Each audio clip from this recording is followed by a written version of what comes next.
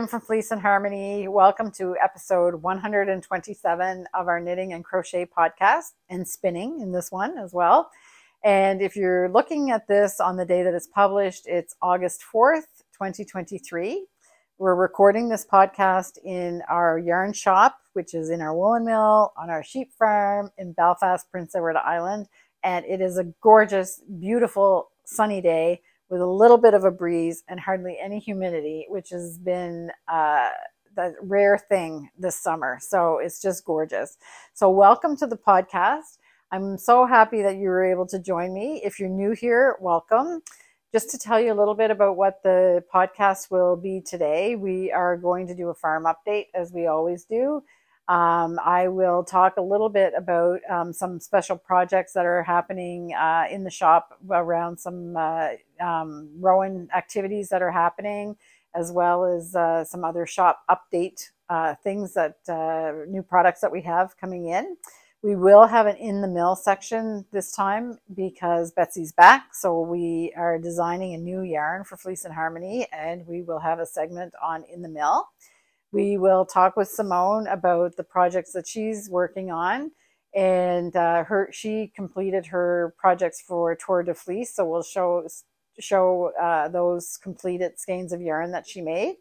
And of course, we'll talk to Betsy and find out how her trip to Norway was and her yarn shopping that she did while she was there. At the end of the episode, we'll do a little bit of a Fiber Festival update. The Fiber Festival is happening here in Prince Edward Island on October 5th to the 7th this fall. And finally, we'll finish with beautiful music and a harmony part. If there's different parts of the podcast that you don't want to see, I do do chapters. So you'll be able to move your cursor along the bottom of the screen and you'll be able to see the different sections and you can skip back and forth from uh, the different uh, sections. As always, we'll start with the farm update. And today, if you're a newsletter reader, you already know this news, but in case uh, some of you are not, don't receive our newsletter, uh, we had uh, some, something um, sad happened on the farm, but not this Monday, but the Monday before. Um, our dear Diva passed away. So, for those that may be new, uh, Diva is a sheep that was living on our farm. She was already kind of elderly when we had her uh, come into our flock, and uh, we think she was about 20 years old. She had lost all of her teeth except for one or two that were just in the front and uh, she also had arthritis. So her morning routine was to get arthritis med- medication, and we made a mash for her to eat with alfalfa and grain. And she could graze on kind of the grass when it was tender, but anything like heavy hay and things like that, she wasn't able to eat anymore. So we looked after her. Um, she's been slowing down quite a lot she's 20 years old, so it was natural that she was slowing down. And she had a bit of a rough winter this winter. So we nursed her through that. And uh, our biggest hope for her was that she would have a beautiful summer. And if she had to go, that she would go peacefully in a beautiful pasture surrounded by clover and grasses. And that's exactly what happened, actually. So I went out to, uh, she's usually at the barn door by 7.45 in the morning. And if we're not there, we start to hear about it because we can hear her calling to us from where our bedroom is. And uh, we went out at about 8 o'clock that morning, but it was all quiet. And uh, we yell to her. If she's not at the barn, we just have to yell, Diva, Diva. And she comes. She comes to the barn to get her breakfast. So we were calling for her and uh, she didn't come and I couldn't see her. She has a pretty distinctive shape because she's very, she, she was very big. She was about almost 200 pounds and uh, she was, had very long legs. So she kind of was easy to pick out in the flock and I couldn't see her.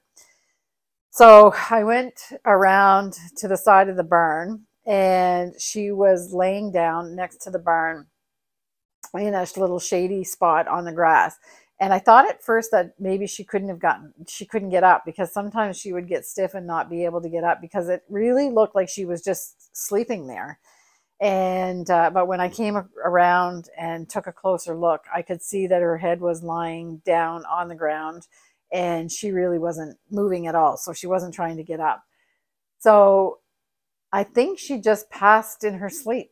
Like I really think that it was that there was no marks of that she had struggled at all, like to try to get up, or that she had. Um, sometimes when uh, sheep is in trouble, they'll they'll start to kind of thrash about a bit, but there was absolutely no indication that that happened. And for some of you, I know that some of the viewers actually have either been brought up on farms or know about farms.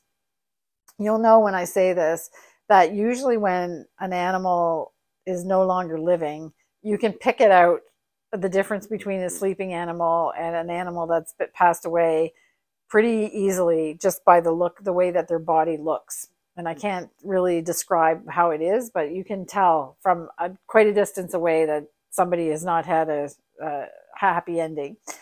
Um, but she didn't look like that. She actually just looked like she was asleep.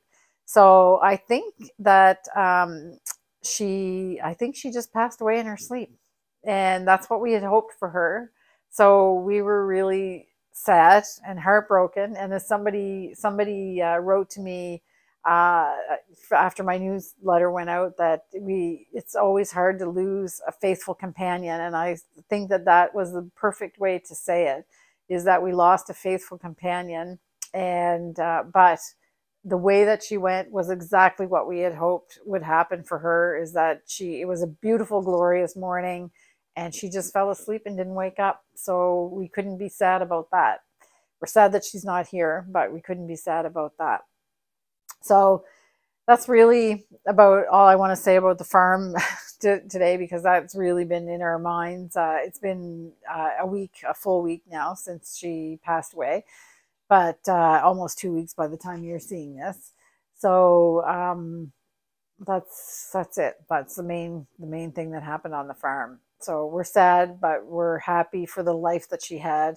And it was definitely our privilege to look after her and make sure that her exit was as peaceful as it was with her being pain free and with a full belly. So goodbye, Diva, and we'll miss her, that's for sure. So we'll continue on with the rest of the podcast now. And um, the first thing that I want to talk about is the uh, Rowan Make Along with Martin Storey. So Martin Storey has designed a midwinter blanket that is being featured as a knit along or make along with Rowan. And I just want to explain exactly how that is going to work because I've had some questions and some emails about um, how to buy the yarn and is there a kit and and everything. So I'm just going to answer everything. Um, the make along actually starts on August 17th. So the first pattern release will be August 17th. And you register for the make along at uh, Rowan on Rowan Connect. And if you go Google Rowan Connect and you can sign up for Rowan Connect, and Rowan Connect is kind of a hub for a lot of things that Rowan is doing. So they teach classes, they have virtual events, and that kind of thing. And there is a little title uh, on the the uh, landing page that says "Make Alongs," or um, I think in this case it might even say the Midwinter Blanket. But you'll be able to see where you click and then you register for the Make Along. It's free to register for it and um, you can start registering now but you will get the first pattern release will be emailed to you on august 17th so that gives you time to purchase your your yarn. I um, there is um, yarn amounts that i have in a pdf and i think that the yarn amounts are actually shown on rowan connect as well. So i will double check that. But um, if you're a a subscriber to the newsletter, at the very bottom of the last newsletter, and it'll be at the bottom of this week's newsletter as well, is there's three buttons under the midwinter blanket. The first one um, gives you information about the uh, about the colors. There's different color um, combinations that you can do. You can do a two color blanket, or you can do a multicolor blanket in two different combinations for both and I give the yarn quantities there on um, on that. I'll also set aside a couple minutes to put up the uh, yarn quantity. In fact, I'll put this slide up with the yarn quantities while I'm talking. So if you want to come back to it later and take notes of this uh, of this screen, then you can. And I'm not doing a set kit because I want people to be able to also choose colors if they want to choose a different combination of colors. So what I will do though is give a 10% discount on the yarn if you buy nine or more balls of felted tweed. So the two color blankets use nine balls. The multicolor blankets use a few more balls, but even if you buy for the two color blanket, you'll get 10% off when you use the discount co code Festive Martin. And I have that on a title underneath here so that you can get the discount. So you just go to our website um, and you will just go to Felted Tweed and you'll be able to pick whatever colors you want and order the quantities that you want and then enter the discount code at checkout and you'll get your 10% off uh, the yarn if you've bought nine balls of Felted Tweed or more. So you can do that. I have sold out of some of the colors because um, there's been quite a lot of people that have been buying the yarn. I have an order that I just placed uh, this week it takes usually about two to three weeks for the orders to come from Rowan, so I won't have it um, in time for the 17th. If if uh, I, I will just get it probably just slightly after the 17th, uh, but I do have lots of felted tweed in stock. So if you do want to order and you need to substitute, in particular, aluminum is sold out. That's one of the shades, but you can buy um, other grays or other light colored contrast colors. Um, but you can choose whatever whatever color you want to use for for that uh, replacement if you have to. So aluminum features prominently in the color combination tawny and aluminum. And with the tawny yarn, if you actually take a look at frozen, which is uh, felted tweed 185 frozen, that would also make a beautiful a beautiful combination. So that's a suggestion for a replacement for that. So hopefully that explains how you get the yarn. It's not a kit per se. You just have to choose the colors in felted tweed. I think I probably had the, the slide up long enough here on the screen that you could have jotted down the colors that you wanted. If you're a newsletter subscriber, if you scroll all the way down to almost the, it's the second last thing on the newsletter, there's a button that says more information about the make along. If you click on that, you'll see a PDF will pop up on um, with all of the uh, the yarn specs that or the yarn uh, quantities that you need. So I hope that clarifies things with the and the discount code is in the show notes as well. Then while we're talking about this, Rowan has also released a number of patterns that are were created especially for this festive event that they did uh, last week. So those patterns have also been released and you can purchase those patterns on um, the Rowan Knit Rowan or the Rowan Connect site as well. You can you can um, shop for those patterns. I think that they're also available on Ravelry. If uh, they are, I will put it down here for sure to confirm that. I meant to check that before I sat down to record, but I think they're available on Ravelry as well. And um, I've showed uh, some pictures of those those patterns before, so you can check that out. But for sure, on the Rowan website, you're able to see those those uh, specific festive patterns, and uh, of course, you can purchase the the yarn for for those from us if you want as well.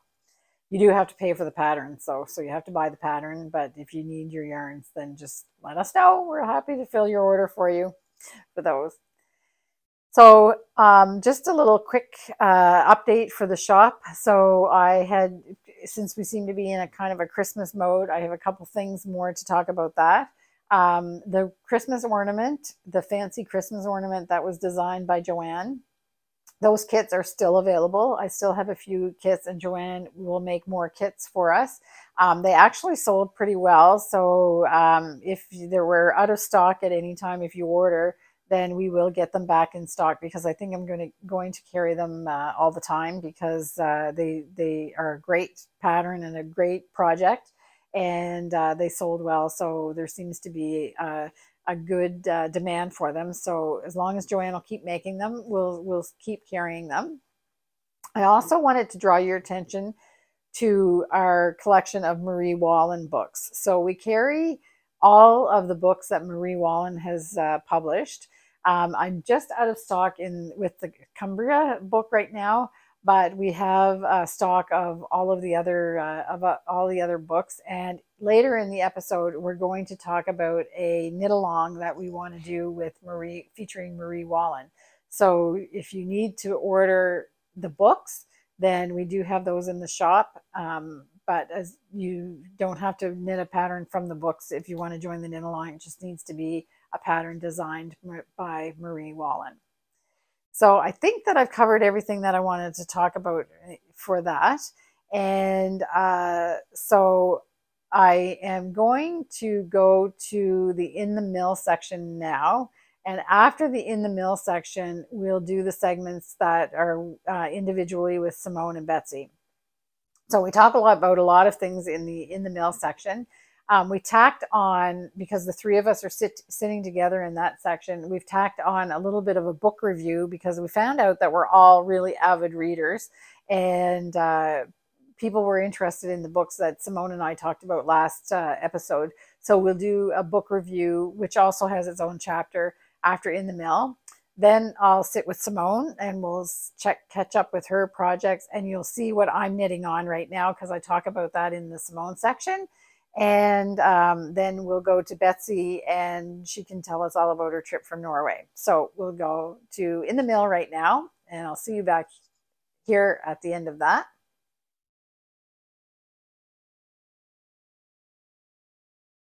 Hi, everybody. Hi. Oh, are you saying hi to us? Or Yes, them? everybody, Oh. everybody. Well, I say to, hi to them four times in, a, in an episode. Oh, I see, I'm saying hi to I'm saying hi to you. I'm saying hi to you again, and I'm saying hi to you. And we're in the mill with the three of us, and uh, I'm just first I'm going to say something a little bit of something about the sound because we have two microphones and we've tried everything to make the sound good, but we all talk at different levels.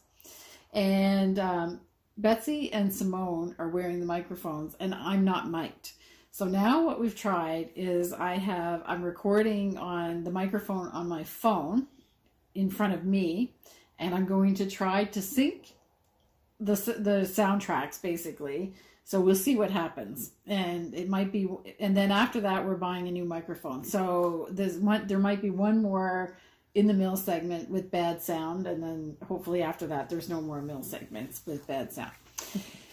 So um, I'm not sure where I'm going to stick this in. So we don't, I don't know if we've talked about your stuff yet, Betsy. Okay. In the uh, podcast because I always mix everything. So Well, in real time, we haven't, so, So, I have no idea what we right. talked about. So if we uh, we will talk about Betsy's yarn buying trip to Norway Mm-hmm. when when we do her thing, but you might have already seen it. I don't know.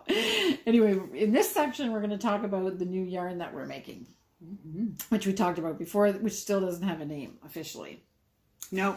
So just as a little reminder, in case you're new, we're designing a new Fleece and Harmony yarn. And it is made from the same wool that the Wild Winds uh, was made from. But we're doing something that we never do here at Fleece and Harmony is we're dyeing in the wool and then spinning. And we're spinning the main color with a gray to create a heathered yarn in a fine gauge so it's a it's a light fingering i would say. And um, we're planning on having 15 or 16 colors. And we, for weeks now we've been working on um, doing different experiments with the colors. Betsy's been dyeing and dyeing the colors yarn Dyeing the yarn. dyeing the yarn. And uh, we've got a few of the colors that we have here just to show you kind of like where we're You're going. showing the nubby ends. Oh, It's Betsy okay. also does the scanning of the yarn, and she's very particular. Let me flip this over. She's, she, I, I, There we go. oh, okay. There we go. So these are some of the colors that we have. so as part we this segment is dedicated to the process of what we're doing and um, it's really all about the we've already ta- discussed about the spinning of it Yes. um, and betsy is going to tell us about the dyeing because we've edited it already so Yeah. because we don't really know what the colors are going to look like until we make them Right. It's it's really hard to predict um, combining the two colored fibers and what they'll actually look like once they're spun. I assume once we've done it more often, we might get a little better at that. Right. We're working with a couple different shades of gray as our base, and then the the colorful part of the color. So sometimes the base gray is a little uh, lighter, sometimes it's a little darker. So choosing which to pair those up with um, is a little bit of a guessing game to start. So with some of them, we did that, and we basically just ended up creating another shade of gray. Right. because the the colored part got lost in the gray. So we on the other day we laid them all out and just sort of looked at them together as a cohesive palette and went okay what looks too similar to each other Mm-hmm. can we edit out and what are we missing so that's at the Mm-hmm. stage we're at so we decided we needed to make four changes Right. um, so now we have to actually create those four changes Right. before we're which we to started launch. today Yes, so we did. betsy's only been back to work uh, this is her second day back to work. I have work. lost all track of time this summer. I have no idea. it's all become. oh no it's been a week has it been a week sure. Okay, no, it's been a week. I, yes. last week you didn't work on this. No. No. All right. So, um, so Simone's been processing wool because now we've got to do four more colors, and then we'll do a final edit, and then we'll have the final colors. So, we thought ambitiously that we may be able to launch the yarn in this podcast, but we're we're going to wait um, till the next podcast to launch it because we're also decided we should be have like a cohesive plan Yes. around it. Yeah. So this is just a sneak peek of some of the colors. So um, I'm not sure if there's any edited colors that are in this. No, I or not. purposely didn't show any of the. Okay. Yeah. Any, but we've had full batches of the colors we took out, so those will be available in the store only because we won't list them online. But we'll we'll have a few more colors for the first little while online or uh, in the store. So what we decided to do is we thought that it would be great to have a knit along to launch our yarn. And there's a designer that we all love, and but we have never done a knit along with her designs. So inspired by um, uh, Simone's Rian, because Rian, she's probably already showed it, or maybe not. I don't know. Spoiler alert. yeah. so Rian by Marie Wallin is a project that uh, Simone's been working on, Hmm. and you use that pattern as uh, the the swatch. For this yarn, yes. Yes. Yeah. Yeah. Ooh and ah. Yeah. I really liked it for the twisted stitches and the lace and Yeah. the cables. Like a lot of fun. I didn't have an opportunity to do color work yet. Right, but, but we have somebody doing color work Yes. as well. So we've seen how the color work turns out. So it was important as part of the designing process that it looked good in cables, that it looked good in twisted stitches, that you could use it for lace and you could use it for color. We mm-hmm. didn't want much. no. That's we We just just wanted asked it to do everything. Yes, exactly. And we actually are it's pretty good. Yeah. So I think we've I think we kind of got something that does that. So we wanted to think of a knit along that people could use. You could, use this yarn that's yet to be named, or you could use some of the other popular yarns that Marie Wallin liked to um, like to knit with, which she was she really knit a lot of designs in felted tweed. So um, for the knit along, you can use whatever yarn you want. You can even use her British Bre- breeds if you want. It doesn't matter. Whatever whatever yarn you have. Um, but we found that she did crochet projects with felted tweed and with Summerlite DK. She Summerlite. Yeah, sorry. four ply. Yeah. Summerlite four ply Yep. in filigree, right? Yes. Yes, in Yes. the filigree book. Yeah. I have most of Marie Wallin's books in stock. I think I'm only missing um, Cumbria because I Cumbria, sold I sold out of it. So uh, I'll be getting that back in. I just don't have it in stock now. So we have all of her books, and um, she's a prolific designer with great designs. Mm. Yeah. And we've never done a knit along. Yeah. Yeah. I looked her up on Ravelry and I think it came up with like 1,400 patterns or something Oh, like really? that from Marie Wall. Oh my goodness. Oh wow. Okay. And there's crochet too. Crochet So, and knitting, yeah. It's open to people that knit and, crochet. Yeah. which is kind of fun as well. Yes, so it's really like an all-inclusive knit along. Yeah. Um, so we'll we will tell you more about that. There's not much. Choose your patterns now Yeah. that you want. So Simone and I have made a decision about what patterns we're going to do. Um, it's out of the Wildwoods uh, book. Yeah. So Simone is doing a um, cowl, Right, the Rowan cowl. ironically called the Rowan cowl. I mean, Rowan is a tree in Yes. England Yeah. and here actually Yes, too. we have a lot of them here. Yeah, so Yeah. it's that's has nothing to do with Rowan. Is that the Rowan Oak? No, they're the ones with the little red berries. Oh, Yeah. Yeah, Okay, those so there's a place I think in the states, Rowan Oak. I It's actually if it mountain ash, I think, isn't it? Oh, Simone she probably knows the Latin name. I remember that Fucus serratus. oh, yeah, that does not sound pleasant. No, that was the seaweed. Oh, remember? Oh, yes. Yeah, Yes. you made the mistake of asking me about a seaweed name. Yes. yeah, I Yeah. think Rowan is a mountain ash.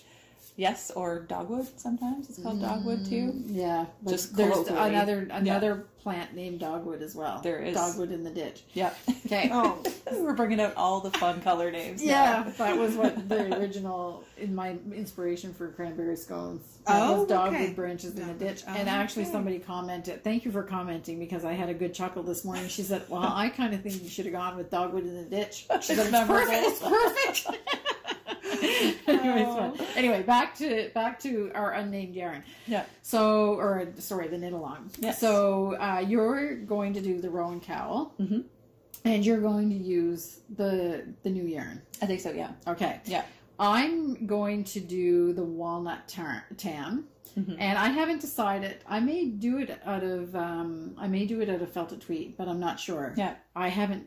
I don't want to have another yarn that I haven't knit with, like Right. my point grandma right. And I think I might have decided on mine. Okay. I think it was called the Lovely Shawl, and it's actually out of um, Rowan Fine Lace. Okay. Yeah. Okay. So it's it's a crochet. So I'm going to go with the crochet pattern. Oh, okay. And Yeah. are you going to crochet it out of uh, Rowan fine Lace? I think so Okay. because She's already it's really pretty. color. I picked the color. Oh, okay. All right. You were gone for like five minutes, Kim, and missed everything. Yes, I know. Wow. FOMO,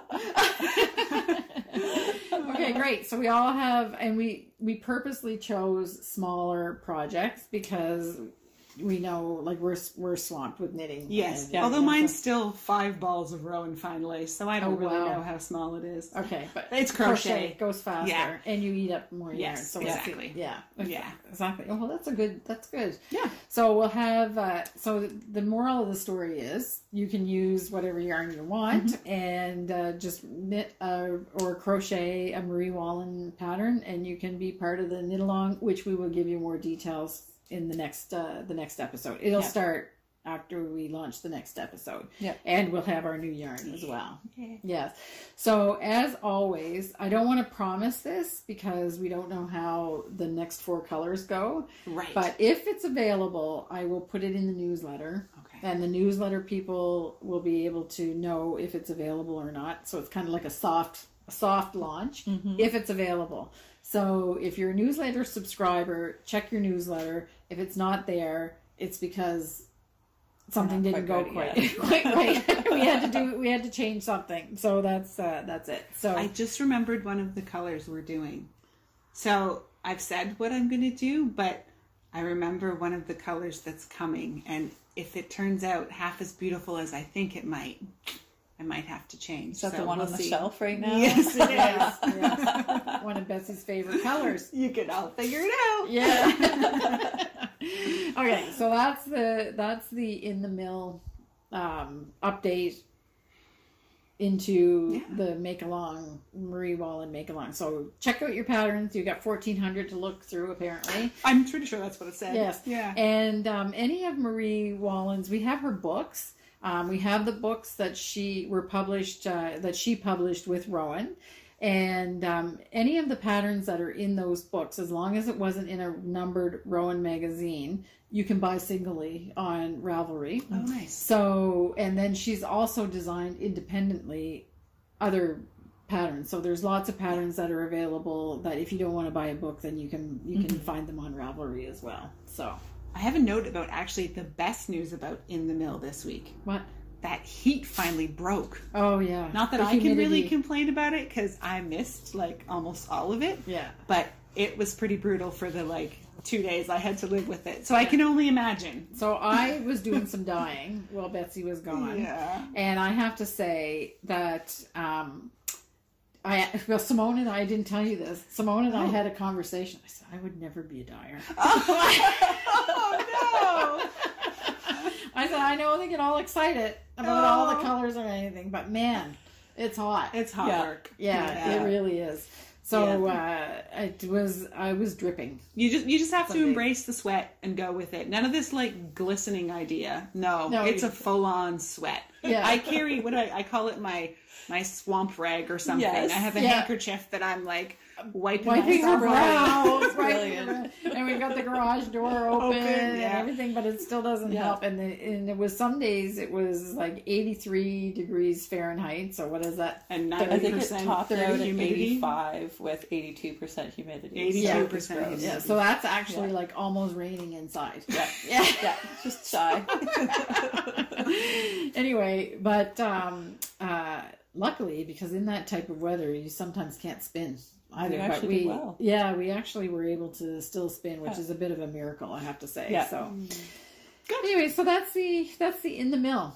So now um, we're on to the next section. Did we forget Okay. anything in, in the mill? I don't think so. No. No. Is the book book section? Oh, Because- oh, right. This I haven't been part of this section No, yet. no. So last episode, Simone and I were talking about the books that we're reading, Yeah. and people seem to like it. So we, and so, um, Betsy is an avid reader as well. Yes, I am. Like very well read, and she's also a reader that reads things more than once. I think I'm the only one here that doesn't read things more No, than once. um, only what I talked about with you. Oh, that's okay. the only. Oh no, that's not true. I have read okay a few things, not regularly. oh, okay. reread, Simone but yeah. regularly reads things more than once. I do. Okay, no, I Yeah. don't. Yeah, so I was secretly always impressed how she could remember the name of every single character in every book that she read, no matter how big or how small it was. And I was like, I know my brain does a data dump every three months. I don't, I can't remember anything. But then she said, well, sometimes I.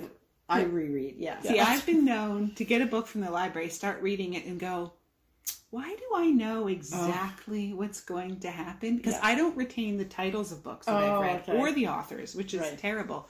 So quite frequently, I've actually picked up the same book that I have mm. already read, and then I catch on partway through. My mother in law has a little trick for that because she's also a prolific reader. Right. And she borrows from the library. She writes her initials in the back page in the little corner so she knows if she read it or not. I don't even. I even. probably shouldn't even say that. I can't even like write my own name in my own book. I know. Little My typing handwriting pencil. Yeah. Typing Oh pencil. wow. Oh wow! Can- But I mean, she goes with stacks like this from the library and just too. tears through them. Yeah. yeah. Okay, wow! Oh, I could just write it down. Sorry, There's Elaine. Oh, wow! Wow! Okay, There's all we've kinds of technology. Oh, that's funny. That's really funny. I, I, I'm like you. I don't even. I don't even. I freaked out one mm-hmm. time because I lent a book to my mother, and I saw a cheese doodle fingerprint on the corner of Oh. one of the pages, and I was. A terrible thing happened was I borrowed one of Simone's book and the cat jumped up and knocked my coffee over it. So I ordered another one, but I couldn't get the exact copy. And Simone's like, It's not a big deal. it's not a big deal, but for me, that would have been a big deal. I mean, you, well, were, I you were take- very gracious. I take Kim's books home in a Ziploc bag, and I store them in a Ziploc bag while they're at my Makes house. me feel terrible. No, it Just oh, just very oh, it's just safer that way. and then I accuse somebody of stealing it because I forgot that I liked it. Anyway, so I started reading Pillars of the Earth, hmm. which I went right to the back page. I know it's an old book. I went right to the back page and it said 937 pages. Oh, And I said, okay, that should be good till next August.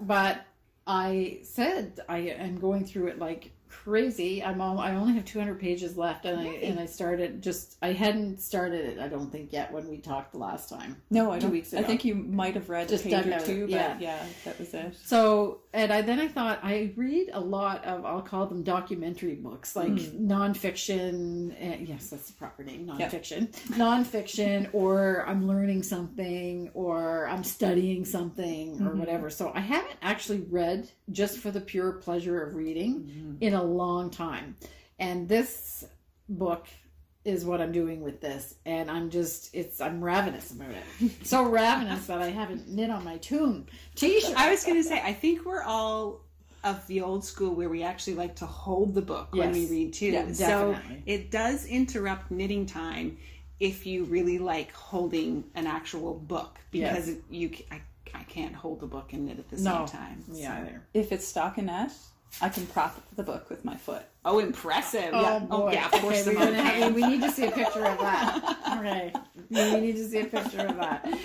So she also doesn't is one of these knitters that doesn't look at her knitting. Yes, yeah, no, Yeah, no way. no. So, um, so much to my surprise is that there's a wool merchant. So, Mm-hmm. Pillars of the Earth, it's an old book. I don't know when it was written. It's 20 years old. Yeah. I think, around 20 years old. Yeah.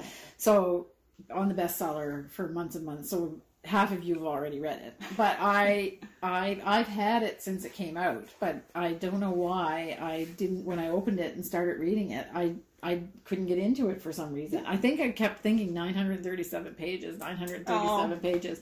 Anyway, I didn't know that there's a the heroine, one of the main characters is a wool merchant. So that's cool. Yeah. Yeah. And you know how serendipity things happen. We're not going to tell you what the book's really about because you want want to read it if you didn't read it. But it takes place in the 1100s in England, and um, I was like, oh. So the, we started talking about she the the uh, woman asked about uh, historic knitting. So they were looking at. She was looking at the the Viking the Viking knits Yes. and I said, "Oh, yes, for the historical interest." And she said, "Yes, of course." And her husband was there, he was laughing, and she says, "Look, hun, this looks like it's a really old, an old style pattern." He goes, mm "Yeah, okay, whatever." anyway, so then I said, "Well, I actually do have Outlander knits as well. That book. So those are based on the the show. So they are probably more, a little bit more historically accurate than." The Viking Viking Viking knits. knits, and uh, look it up if you're wondering why we've all sit, sitting here with our Giggles. smirk, smirk on our face. Okay, so then so then he comes out with the fact that he's actually a historic reenactor, Ooh. and um, I said, and I said something about reading Pillars of the Earth, and he goes, and I said that's set in the 1100s. He said that's the period that I reenact. Oh, That's nice. so cool. Yeah, All So, connections. weird. So I was talking about. He was telling me about his. Now I'm gonna say maybe I'm gonna say it wrong, but his basin hat, skull cap, something or other, as part of his uniform or whatever. And he had pictures of himself fighting with swords and everything. Oh. Like it. Yeah, yeah. Cool. So I and I was like, I spoke knowledgeably about the armor. and anyway, it's so funny. That's what reading can do for you. Yes. right. That's right. Even fiction. Yes. You can learn some. Yes, exactly. and you, you, what were you reading? I you talked about oh, okay. This all started because of Lanfear, Yeah. right? Yeah. So I finished that book and I was disappointed. That was the Wheel of Time. yeah. Yeah. The last book in the Wheel of Time. It was okay, but I was kind of disappointed with the way it oh. ended. Oh, it was no. predictable, Oh, but okay. that's fine. I sometimes wonder if some of these book series go on and on forever and ever because the author just can't figure out how to give it that really good ending. He died, and he had to have somebody else write Oh. Yeah. from his so- notes. mm, so, okay. But you had said that yeah. he was doing a pretty good He job. was doing fairly well. He was making it cohesive, but it did feel rushed, okay. even though it was like a thousand page book. Well, he wasn't, he wasn't telling his story, probably. So Yeah. that would be hard. Yeah. That would be a all, challenge. all the Game of Thrones people under or Game of Thrones, sorry, Game of of Thrones. Game of uh, Thrones people are saying we know. Yep. Oh. Yeah. Yep.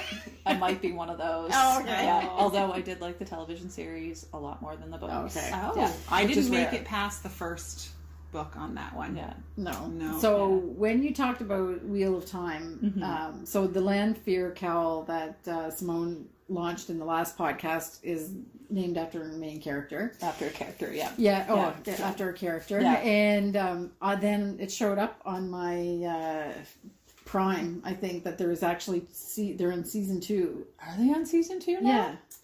Oh. So I had, did you watch season one? I did. And is it good? Yes. She's Was so you that like as good as the book or No. no? No. It's, so the book is if you pretend like you've never read the books, the series is okay. good because Okay. they kind of haul things in from different times. okay. and they're placing it earlier in the series. So Okay. there's that, and then there's certain things that are just a little out of sync. Okay. So Okay. yeah, Often it's good. Yeah. but you The just have to is- pretend that you didn't read the books. Right. And Yeah. now you're on a new book. Yeah. And it's uh, what is it? Post Captain by Patrick Post- O'Brian. Captain. Okay. Yeah. And people have written to me and said, "What books were you talking about?" Mm-hmm. I will put the names and Oh, uh, of the below. books and the authors in the show description. Yeah. Okay. So I went from fantasy Right. to historic fiction, Right. and this book is about a naval officer and a doctor in the 1800s in the British Navy, and there are parts in it that are laugh out loud funny. Oh, I was telling Betsy about the drunk ape. Yes. okay. That you need to read it just for that. Find Yes. out about the drunk ape. Yeah. But it's kind of neat too because they're obviously spending a lot of time on sailing vessels, and it they give you a chart at the first of like the first section of the book that goes over the different portions of the boat, the different sails, because it is kind of important to know that for the stories, and it kind of gives you a scope of just how large these mm-hmm. sailing vessels were and how many people it took to man them. Right. Like it is really amazing. You know, um, it's funny that you said that because I'm at a point where in the Pillars of the Earth, where they're, they build cathedrals in that this mm-hmm. book, and they're talking about all these different types of vaults and everything. And I mm-hmm. was just, I was look, I was thinking to myself this morning, I really wish that they'd had some kind of a diagram Yeah. that showed. There's beautiful plates in the book that in between the sections that show like a, arches and things like that, but I have no idea if I'm looking at whatever they what a preceptor or a vaulted or a barrel vault or a, well, I have no idea. So they, that might be one of the little things that's missing from Yeah. that. That's a good. That's what's good for that author to have done that. Yeah. about the boat. Yeah. And we have a funny joke at home, might be a little bit risque, but you know, I like the cut of your jib, that expression, Yeah. right? Well, there's a sail on the end of the boat called a spanker. Oh, so we turned it, I like the cut of your spanker. yeah. it's pretty mild. It's not. Yeah. I was afraid for a minute. Yeah, I was, I I was you're good. wondering where we were going. Yeah, I think Yeah. it's not not the spinnaker. It's actually the a spanker. spanker. It's the spanker. Okay. And um, you read a lot of Canadian authors. Um, I have recently, yeah. Yeah. So Louise Penny, I've been following her for years. The she does mystery novels, murder mystery novels, um, and I like them because they're just they're I don't know.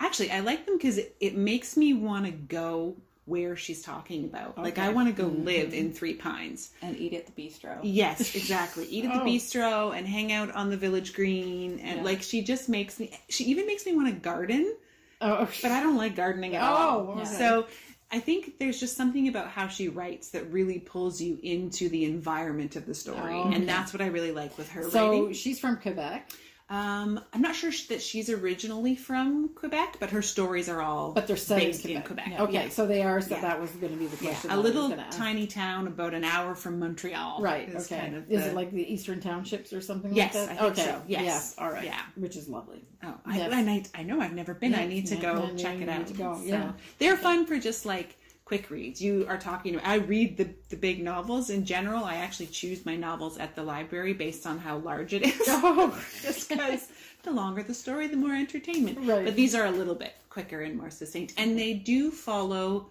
Um, if you've never read any of them, I would recommend starting with one and following them in order because the same characters go throughout. yeah. It's a different murder mystery in each one, but the main characters um, that live in this village stay the same. So if you want to follow their story in a chronological order. Yes. It's best to read You can them see as them written. progress Yes. throughout the series. Yeah, Yeah. they grow and change. You've read that and- series as well. Yeah. Right. Yeah. So, um, people have commented about the audio book versions, and Mm-hmm. somebody wrote that apparently the um, is it Audible? Is that Yes, the that's the Audible version of Pillars of the Earth is particularly well done? Okay. I'm not really. I don't know. I barely retain it when I read it, so I can't imagine if I was just listening to it and knitting at the same time that I would be able to retain it. But you you read or you listen. I do to listen to audiobooks sometimes. yeah. And Um, what do you find? Do you find that? It, I find it's actually not bad. It's- Yeah. I listen to them mostly whenever I'm going for a run. yeah. And the most recent ones that I listened to were The Bear and the Nightingale and The Girl in the Tower. It's two parts of a trilogy. Oh, okay. And it's written in a Russian fairy tale ish type. Oh, Okay. light, light listening. Yeah. Yeah. it's it's actually really good. I think it's classified as young adult, Oh, but okay. it's it's one of those stories that just kind of grabs you and keeps you, Oh, and cool. it's so magical. And you are going to write all these Yeah. titles down, right? Well, 'Cause I'm you- I was have just, to- I'm just thinking. Okay, so you're uh, you're both gonna have to text me with the titles that we Yeah, talked yeah. about. Yeah. Mine's just a whole series. Louise Penny. Yeah, yeah. And the Three Pines is also a series. Well, it's no. So the the whole she's only ever written about this same little town, um, with the main character being Inspector Gamache, Okay. um, or however you want to say his name, and that the stories follow his career basically. Oh, okay. So And is the series as good as the book? the TV series, Yeah. no, No. Okay. not no. even remotely. A They- definite, definite. yeah on they just they tried to cover i mean she, i think she has almost 20 books so they tried to cover so much in one season that it was convoluted and they i understand what they wanted to do they wanted to touch on some current events Mm-hmm. and such and there's a time and a place for that but i i think her stories were good enough on their own Yeah. so I have to say, uh, I just now uh, we should probably Wrap this up. wrap this up, but I, I have to say that about. Um, I read the original Anna Green Gables book before Arna and Carlos Oh, come I because I know going. and I watched the 1987 series of with Megan Follows, which was actually Really good. almost word for word really from the book. Very pleasant. Like there was tough things in there. Yeah. But Anne with an E, I was just like, oh come on. Like when you try to touch on all of the crap that's happening now Yeah. And relate it to that, and I'm sure that it's more literal Hmm. and more true to what they're. I mean, it, yes, we agree that being an orphan was probably not the most pleasant, happy-go-lucky time for any child, but that's not why you read Anne of Green Gables. no, yeah no.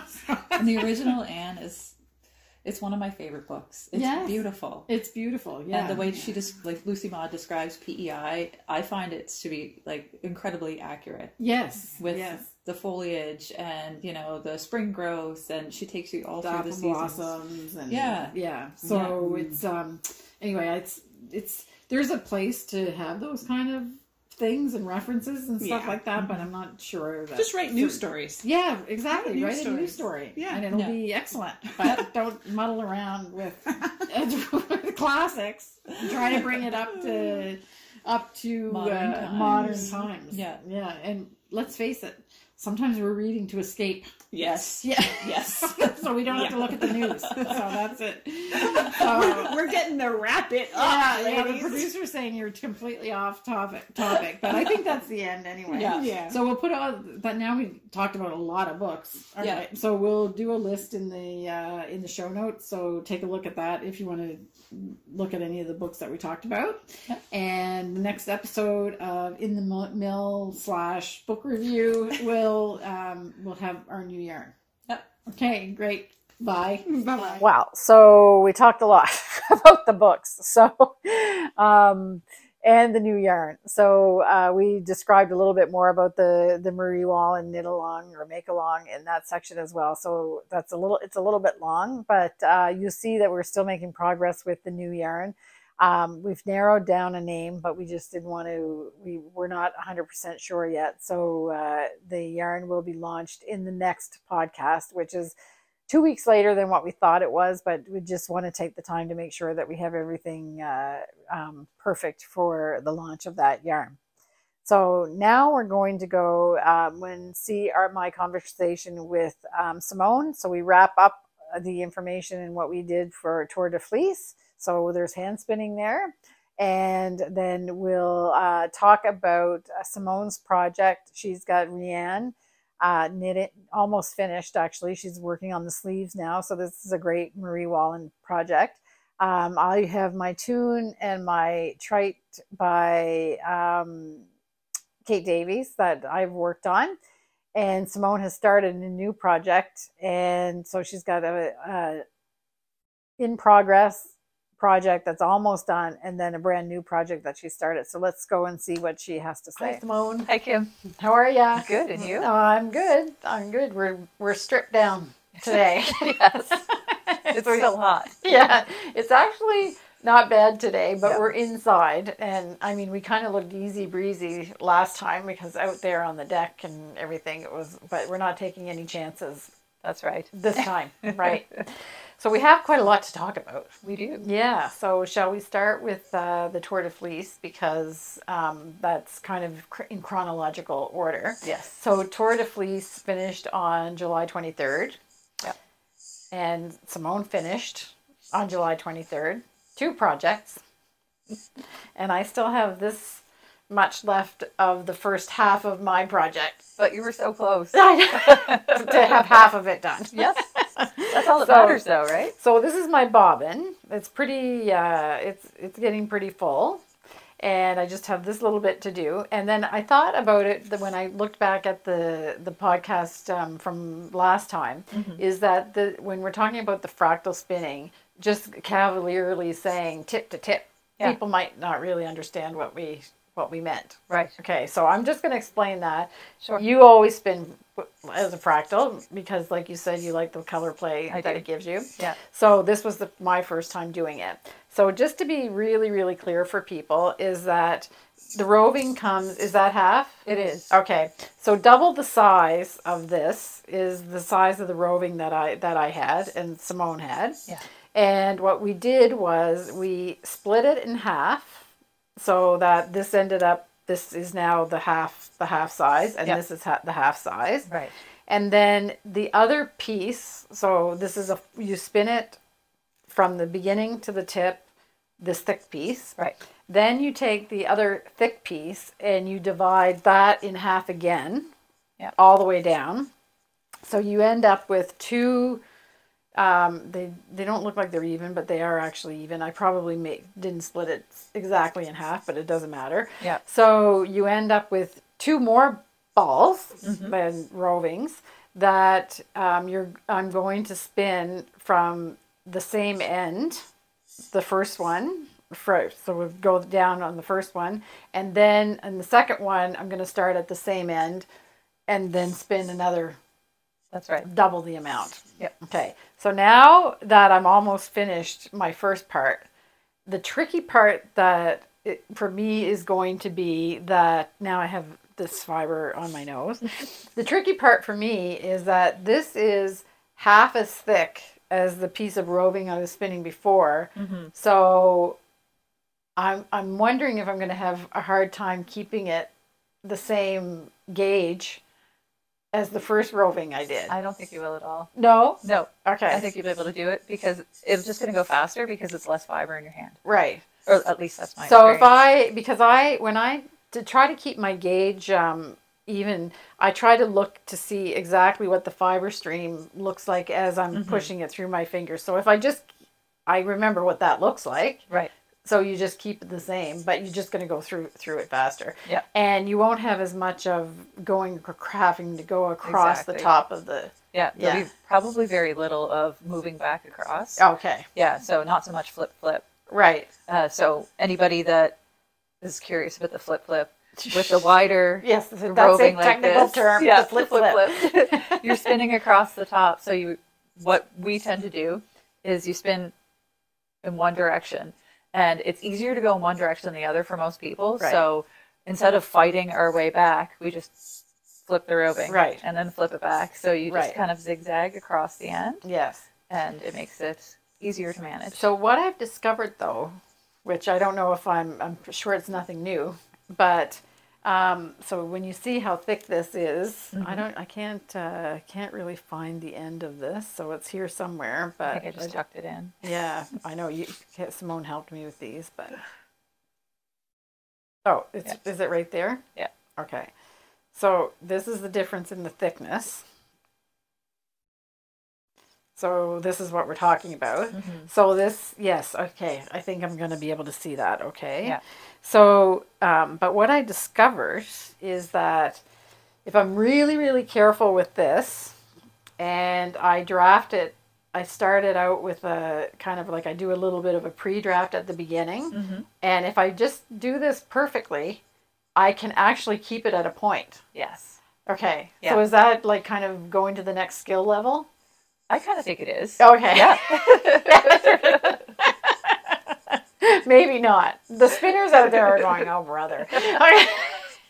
Because then if I get it going right, Mm-hmm. then I don't even have to flip because it just keeps coming out like nice and smooth Yeah. at a point. Yeah.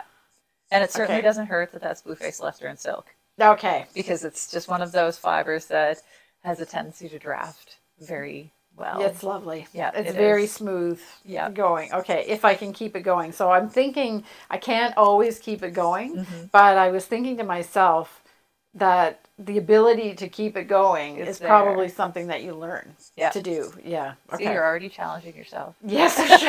yes. Okay. I can't stop. Unfortunately, I can't stop doing that. Okay. So then that's my that's how the fractal works. Yeah. If for people that don't spin and never really truly understood it, which Yeah. Was me before I started when I actually saw how it was done.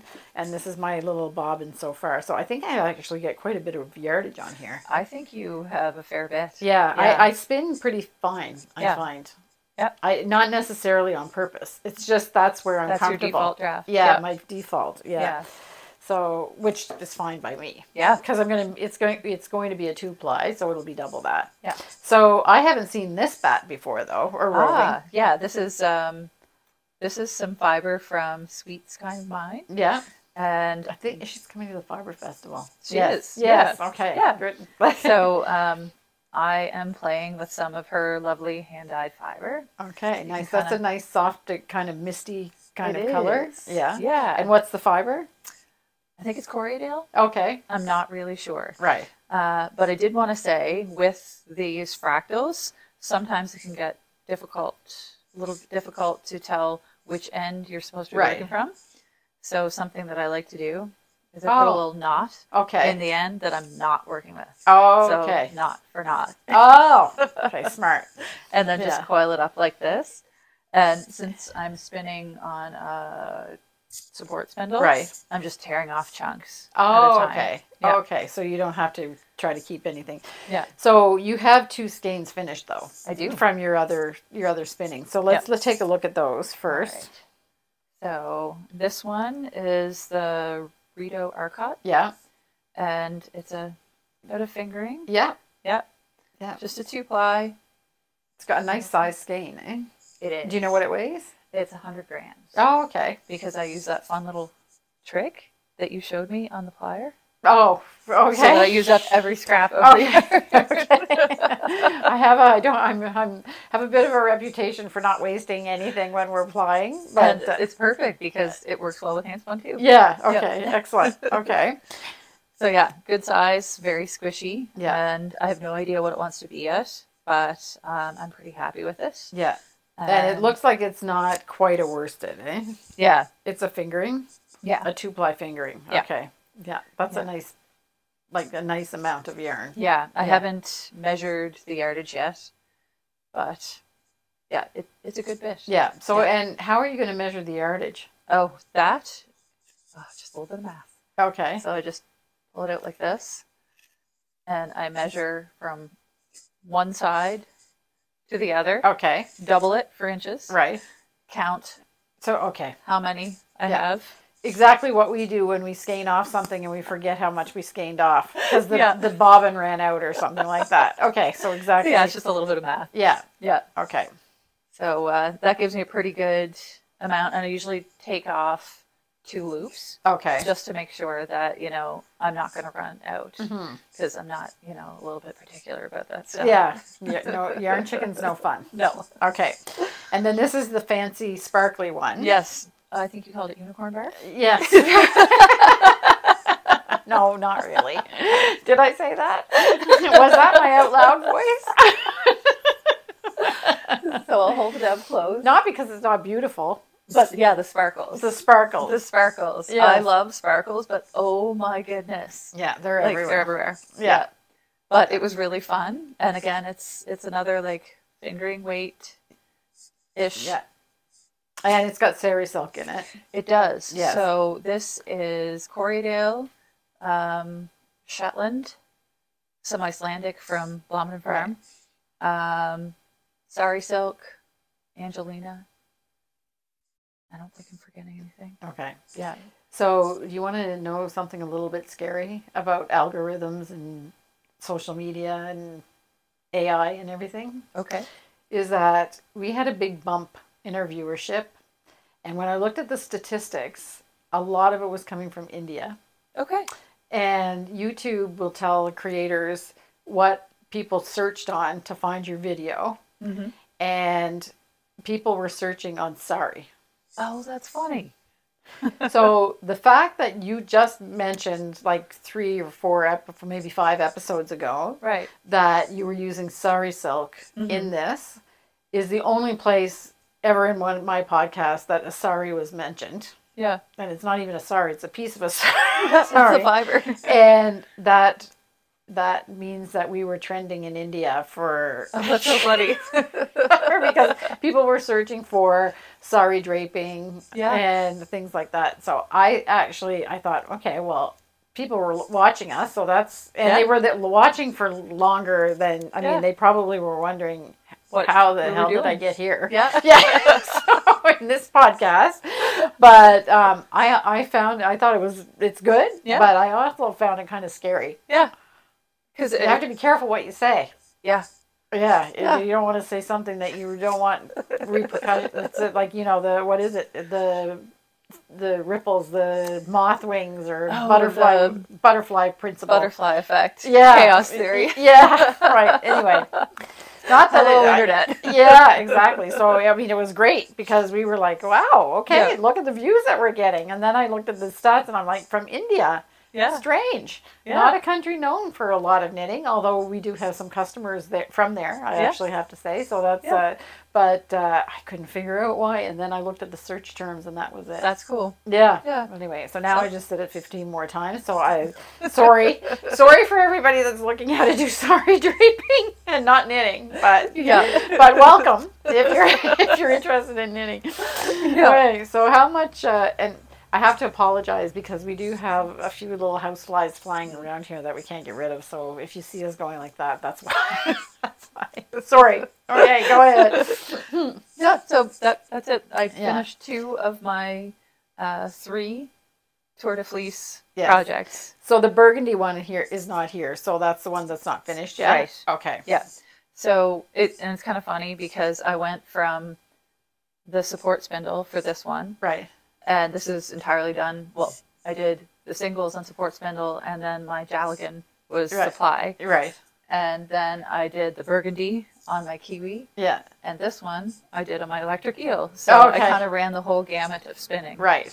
So a little something for Yeah. every level. Yeah, lovely.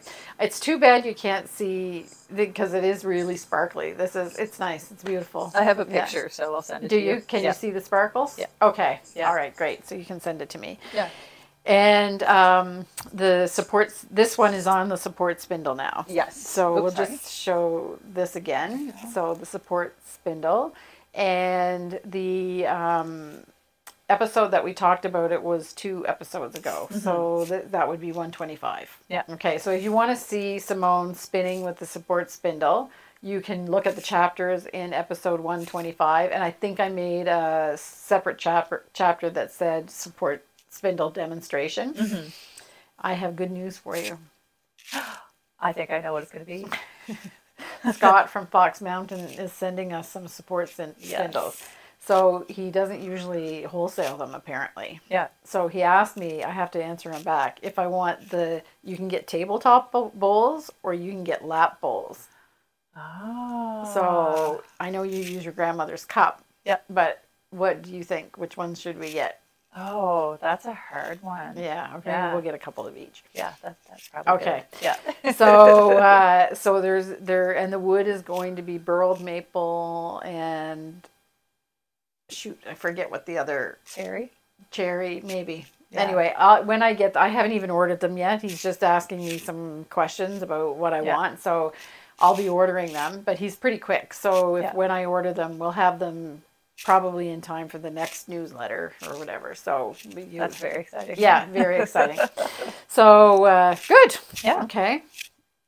So is it um it uh it his are shaped a little bit differently than this? You have one of his, right? This yeah, I do. I Yes. have a Tibetan. Yeah. Um, that's the style This cross. makes. Oh, okay, Um, no. The Turkish is Okay. the one with the, with The the, little cross, that makes okay. the turtle. Yeah. But um, the Tibetan is kind of like a little bowl like this and then flat on the top. Right.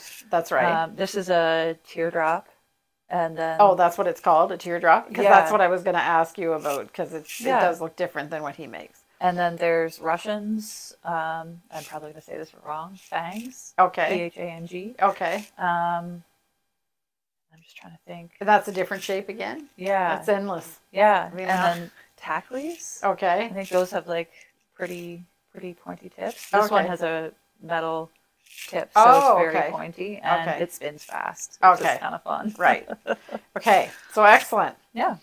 So that's the tour de fleece. And we toured our fleeces Yes. again. So that's it. So that's uh so um I think I'll make this a separate chapter in case somebody's not interested in uh in our spinning ex- escapades, but uh, it's been very satisfying and I actually did spin every day except for one day and the other the um, next day I spun for an hour. So my spinning improved a lot. I have to say, just this the half an hour a day. Yeah. It was because I, you know, dabbled and whatever, and Yeah. not didn't spin consistently enough to really improve. Mm-hmm. But I found uh, that it, I. I went so fast. I started going so fast that my wheel was making a noise, so I had to have Simone overhaul it this morning because I was making a noise I didn't like. So, Speedy spinning. yeah, yeah. So anyway, so that was great. Yeah.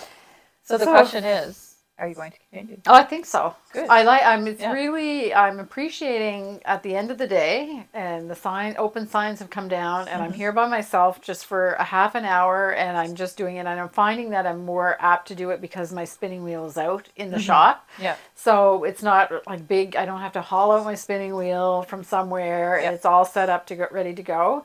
And I find it's a good kind of just a nice relaxation, just a half an hour. It goes Mm-hmm. Yeah. by fast, Yeah. and then I then I leave the shop then, so it's good. That sounds yeah, wonderful. Yeah, so I'll keep going. Good.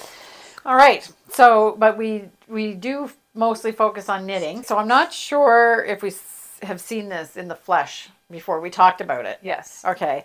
So if you'll remember a while back, we showed you a swatch mm-hmm. of the new yarn that we're going to talk about in the mill section, the new yarn that we're designing. And this was the swatch, the inspiration for the mm-hmm. swatch came from this pattern, That's right. which is, Rian or Daffodil by Marie Wallin. right. Yeah. Okay. And it's got everything It does. except for color work. yeah. so it looks a little messy right now because it hasn't been blocked and it's been shoved in my knitting bag, but I have the front and the back completed. Beautiful. And I'm going to, well, I started working on the sleeves. They're two at a time so that when one's done, both are done. Yeah, that's good. Um, I call this my wrestling sweater because I work on it okay. whenever Willow's at wrestling. Yeah, Simone's and- daughter is quite a, a great little wrestler. Yeah. Yeah. So it's nice because, I mean, And she does competitions, so you're knitting Yeah. this when you're at the competitions. Yeah. Okay, so there must have been quite a few competitions. yeah, and practices too. So Right. yeah, it's just a little something to keep my hands busy while I watch. And the pattern is fairly easily memorized. Is it? It is. It looks complicated. Yeah. Um, there are cables, twisted stitches, lace, a little bit of ginger snap fur. Yeah. No, that's not ginger snap. That's off your bat for your spinning bat. Sparkle. no, it's off the other, the new one. Okay. Yeah. And it's got a vent, I guess. Um, no, or it's just the top. The one side is. Uh, oh no, there is. it's not sewn together yet. Okay, so it's it's just a f- straight seam. Yep. Okay.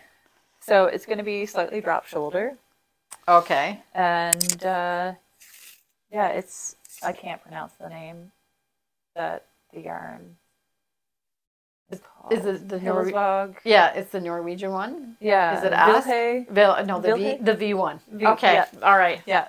So that's that's what it is. Um, I do have a Ravelry project page Okay. for it, so if you're curious about that, Okay. you can check it out. But yeah, I'm I'll put the name, the proper name underneath. Yeah. So, okay.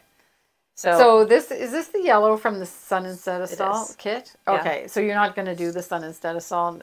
I'm going to do it, but not in yellow. Oh, okay.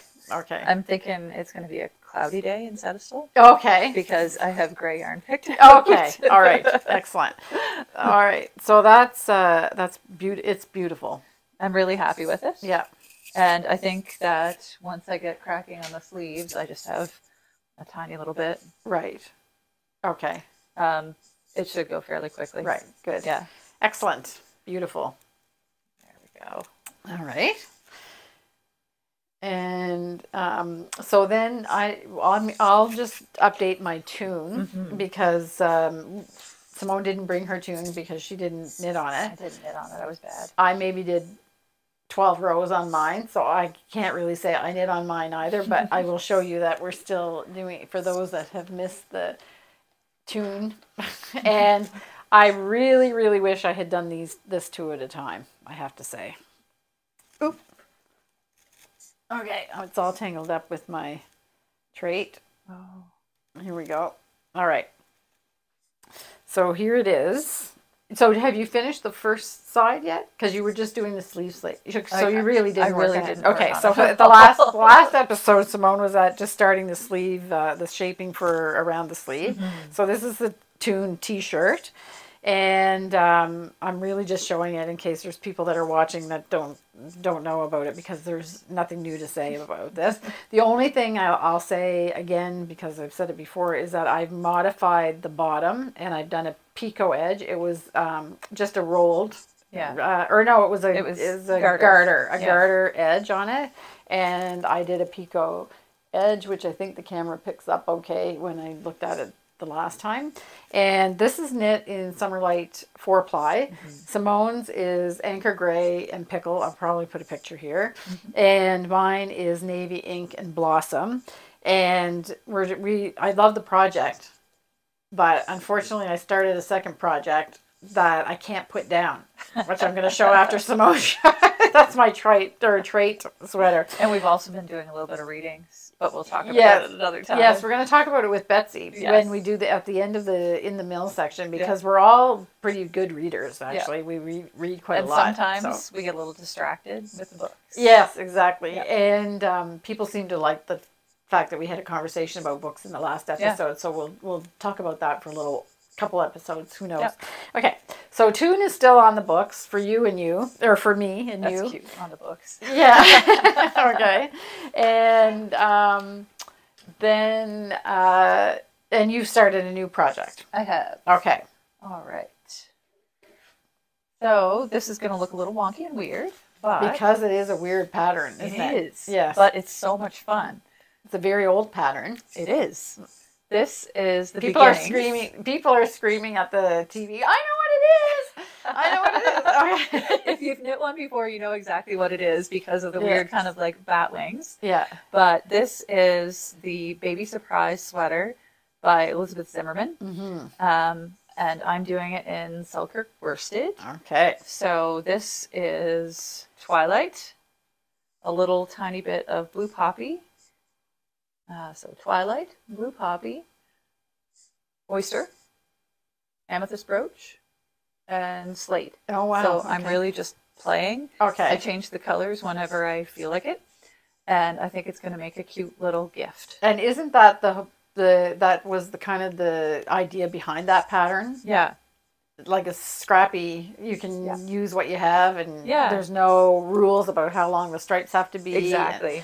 So, Yes. and why is this famous? Because I know that there there's an adult one as well. Yeah. And is it because of the construct the way the construction goes? The construction, the fact that you can use any gauge pretty well. Okay. Sorry about that. uh, yeah, you can use like the size is really dependent upon the yarn that you want to use Okay. and then your gauge. So it they give you a little chart and oh, Okay. now you can get an updated PDF Okay. of the pattern. So you can get the adult all the way down to baby Okay. and it includes options for collars and hoods and things Oh like that. Oh wow. Okay. Yeah. Okay. So- so what part are we looking at? This is the back of the neck right here. Oh, okay. And this is going to be eventually the arms. Okay. So we'll have to we'll have to. So we'll have to trust. So is this the neck here, like this? It is. So it's Yep. upside down. Yep. Or There top. we go. Yeah. Yeah. Okay. So that is actually the top there. Okay. But it gets folded in a ingenious way. Okay. And there's decreases and increases to add fullness to the sleeves and Oh, okay. all this fun shaping. Okay. But yeah, it's just it's one of those projects that's really satisfying to knit. Yeah. You don't have to put a huge amount of thought into it, Right. and you get to really play with colors. Okay. And great. they're all like every single one that you do is different. because I've seen this on an adult. A woman that I met had had one on that she did. Mm-hmm. Yeah. And I think she did it like years and years ago. Like Yeah. when it first, because this has got to be, I don't know, published. Oh, I think What? it was the seventies. Well, yeah, I was going to say 80s, but I, Yeah. it was, it's long. So Yeah. it's good, good for Elizabeth. Yeah. Yeah. So, Yeah. um, And to be honest, I kind of want an adult one do you? with a hood. Yeah, nice. Yeah. very nice. Okay, lovely. Oh. So this one I didn't even know about. You said baby baby surprise sweater one day, and then the next day she was she was knitting it. So Yeah. that's right. All right, And I don't know what it is our Selkirk worsted and garter stitch. It's just squishy. oh, it's so yummy. Yeah, it's squishy. So I will finish off this segment with my Treit mm-hmm. by Kate Davies. So this I this was inspired by Simone's Treit that she has. We're hoping that we're pronouncing that right. Uh, you knit yours in um, Point Prim sock. No. Um, Belfast Mini Mill specialty. sock. Oh, okay, Yeah. specialty sock. Yeah. Um, we had a lady come in and knit another sweater, the Lento, in Yes. Point Prim sock yarn with Kid Silk Haze. Yes. And we oohed and awed so much. And then, but I, at the same time, I loved Simone's Treit, Treit Mm-hmm. when she came.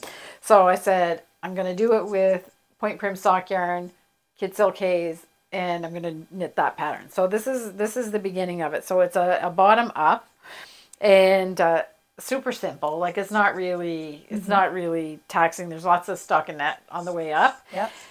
But first of all, there's a lot of firsts in this sweater for me. So I have actually never knit with point prim sock yarn because I don't really knit socks. Right. And I've been knitting with so many other things that I've never actually knit a garment out of point prim sock, which is hard to believe because it's one. I mean, it's one of our best selling yarns. It's lovely, and um, I. Uh, so I decided that I would do this with the Kid Silk Haze because that that woman's sweater was like so Amazing. so amazing. Yeah. So this is it. So it's in Northumberland blue, and you can just kind of say I I this is not on purpose. It's just the way that the wool gets dyed.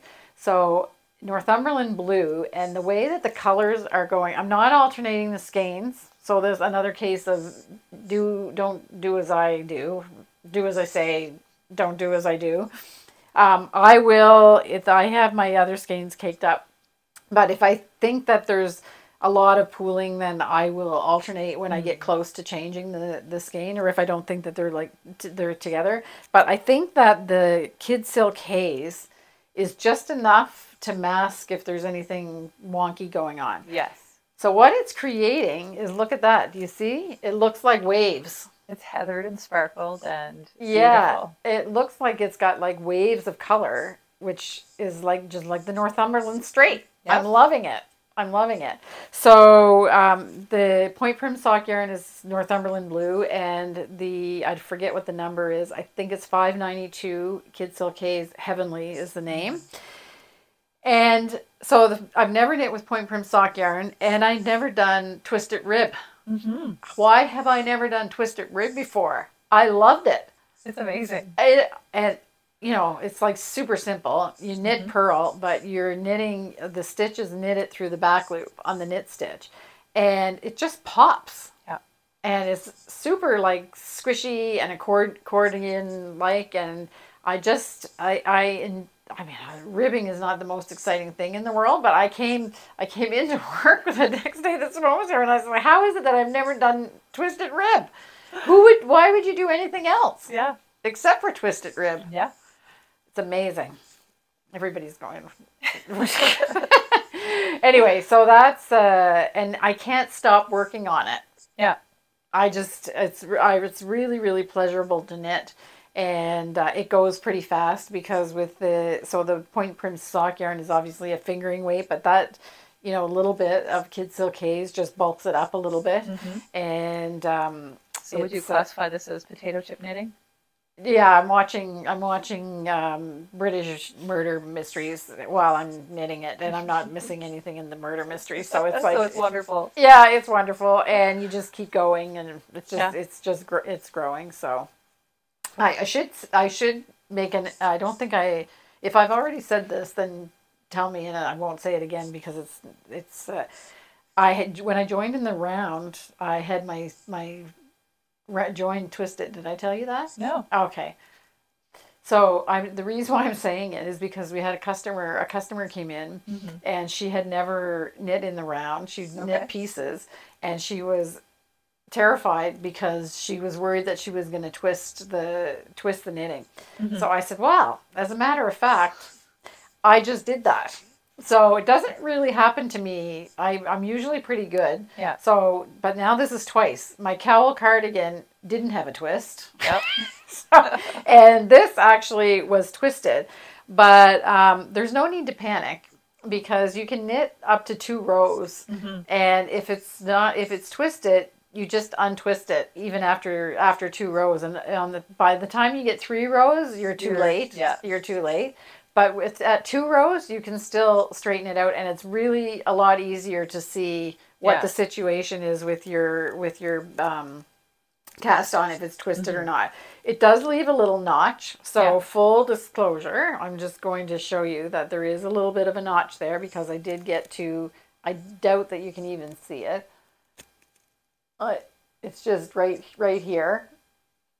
And uh, but that's not a problem because when you put your end in and you make a fake stitch with your end and close it, you you can't see it because I already tried. I tried it. I didn't want to. I didn't want to um, sew in the end yet because, as I had said too, that I made my swatch gauge and then changed what I wanted. So I'm going to measure my gauge on this, and I'm totally prepared to rip it out if it's bad, but I can tell it's good. So I'm Yeah. not really too worried. But I didn't want to sew in my end until I knew for sure that I didn't have to rip it out. We're playing fast and loose with the knitting. Lately. I know, I know. We're breaking all the rules. So, anyway. but you know what? That's kind of fun. It is. Yeah, We get to be Mavericks we once in a while. we played by all the rules. We mm-hmm. know what the rules are. We know why there's rules. Yep. And now we're breaking them. Yep. Okay. And if we break them and it ends up badly, bad us. we don't care. Yeah. Yeah, we'll just do it over again. Okay, so this is that. So this uh, is uh, Treit Treit, and I'm I love the color combination. It's like it's going to be warm though. Yeah. It's not going to be a summer. I'm not going to get away with it in the summer. It'll No. be like a fall and winter sweater. Yeah, definitely. Yeah. So great. So I think is there anything else? I don't think so. I think that's it. Yeah. So we'll um, we'll do the in the mill section with Betsy. Yep. And we're going to talk about our books. Yes. In, in that section. So we'll see you there. Oh. you got a lot of spinning information, and uh, we all we really had fun with Tour de Fleece. So uh, we really enjoyed doing that. And like I said in in that uh, section, I think I'm going going to continue to do it because it was actually a nice ending for of the day for me uh, when we're uh, working here every day. So I I will continue that. And what about that Rian sweater? It's beautiful that Simone's working on. So that's uh, that's great. So lots of knitting in that section. Now we're going to go and talk with Betsy about her trip to Norway, which sounds like it was absolutely fantastic. And she got to shop for Norwegian yarns and went to a little farm and bought uh, yarn from a little wool shop that gets their, their wool from a, a close by farm. So it's been really, really interesting. And Betsy actually knit a new pattern uh, that she came up with. With uh, her husband designed the the motif, and Betsy knit the pattern that she knit while she was on her cruise. So you can check that out in the segment with Betsy. So we'll go there. Hi, Betsy. Hi, Goo. Welcome back. Yay! you had a mountain to die when you got back. I tried to do a little bit. Oh, a, A, mount- mount, I- a, mountain, I- a mountain of dying. to do. I was Yes. like, a mountain to die. Yes. Yes. A mountain of dying to be Yes. done. Yes. So let's get right to the trip. Yeah. How was it? Really, really beautiful. Yes. Yes. Betsy went on a cruise. In Norway. in Norway. So what we did was in and out of the fjords. Right. So most of our time was spent just looking at beautiful, beautiful, Vistas. yeah, green mountains up along the side of the fjord that we could look at. Are they at. really steep? I I think so. So I should qualify first of all. I have never been to the Rockies or Oh, the. Swiss Alps or anything Okay. of that. So for me, these were large mountains, but I do realize there are larger ones out there. But I think like they were pretty steep because we did a couple hiking trips and a biking trip, and like you have to zigzag back and forth Okay. to go up the mountain. Okay. Um, Oh, so they the don't make you go right No. Yeah. Well, goodness. we did climb one that way, and yes, that was like they had built steps into it. Oh, so you're going up these rock steps Okay. all the way up. Um, but anytime that we were biking or any of the vehicles driving around us, it's back and forth Okay. across the mountain to Okay, get up. makes sense. Yeah. Okay. And um, how was the cruise? Really lovely. It's yeah. Yeah. was, Was, it a big cruise. ship? Yeah, I was on one of the the super large, well known cruises. Oh, okay, So yeah. okay. But we did see the ship that I believe that Arne and Carlos travel on. Oh, so I Oh, wasn't okay. on their cruise, but I'm pretty sure we saw. I think it's called the, the Hurtigruten. Oh, and is it small compared to yes, the compared massive? to the massive American one that we were on. Yes. Okay. Um, so it came into port the same day that we were in this port. It Right. doesn't stay as long because it also operates as a ferry. So Oh, it hits okay. way more locations than Okay. ours did. Okay. Um, but we saw it come in, and Matthew was like, "You should check their schedule. Are they on it?" Yeah. and I was like, "I don't think this time of year." no, they're they're off probably. Yeah, I think they do theirs earlier in the season. Right. Yeah. So yeah, So you got to shop for yarn though. I did. I went to a Mm. lot of different yarn shops. Oops, pardon me, I bumped a table. At one point, um, I actually was in the shop and there was just so much yarn and it was like so beautiful and I started shutting down and my husband's like, no, no, no, no. Now is not the time to panic. Yeah. He's like, you're here. You need to make some decisions. And I was like, okay, okay, I can do this. So at that particular shop, I bought buttons. oh, okay. So you never bought yarn in the No, there's so much yarn, and I'm not someone who wants to have a stash. A Right. stash actually stresses me out. right. Um, so I was really trying to purchase projects worth of yarn. So Right. I had some patterns picked out before I went, and I was buying for those patterns. Right. So I only came home with, I mean, only I say, with three different sweaters worth. Um, yeah, so I have three patterns planned out that, Okay. I'll, that I'll do. So um, we've both knit Sidsel Høyvik Yeah. sweaters, and uh, she uses the yarn from She does. He- Hels Hellesvog. Hillesvåg, I uh, think. Hel- Hellesvog? Yeah. Okay. And uh, so you were in a store that had So, that yarn. yeah, most Yeah. of the stores do. Okay. Um, I purposely was looking for a store. I'm probably gonna slaughter this Norwegian folks, so just bear with me.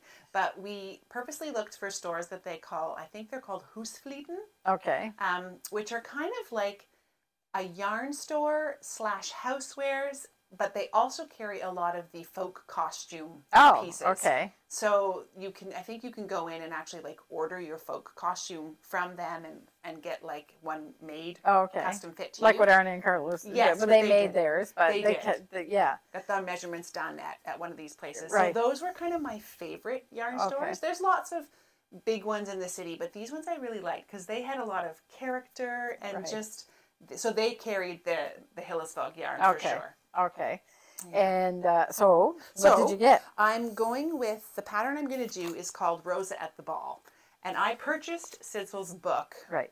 a few months ago now. So you can order these as kits online. Mm-hmm. I could have ordered it and had it sent here, but I was there. So Right, of course. I wanted to. And the store I bought it at was basically the Norwegian version of our store. Oh, okay. So it was just so cute. The lady was so lovely, and I was like, I have to support this place. oh, So, okay. yeah. Rather than the big, the big, ones, one. yeah. And it was in a tiny little town called Flåm. Okay. Literally, like um, mountains at both sides with a massive waterfall Oh, coming down into one okay. of them. Beautiful. Mm-hmm. Yeah, there was a train that came into it. You could take the train and ride it up the mountain. We didn't. We don't tend to do the the offered excursions. Right. We like to wander out on our own and just find stuff. Right. So let my husband have kill me dragging me up mountains. But Yes. anyway, I'm always glad I did it in the end. Yeah.